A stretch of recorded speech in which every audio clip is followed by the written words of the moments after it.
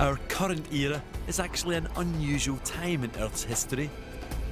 It's called an ice age, an era when ice sheets cover large areas of the planet.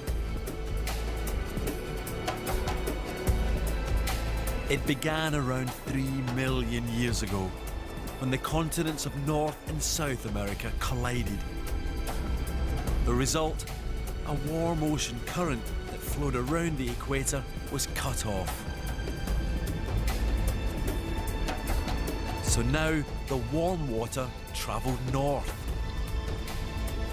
Today we know this current as the Gulf Stream.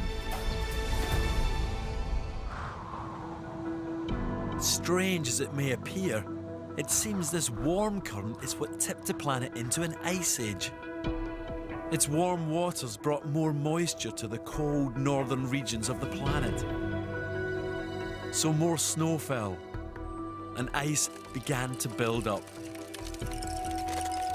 Slowly, the northern hemisphere iced over, triggering a global cooling. In the last million years, the ice has advanced and retreated 10 times in a cycle, aided by small changes in the Earth's orbit.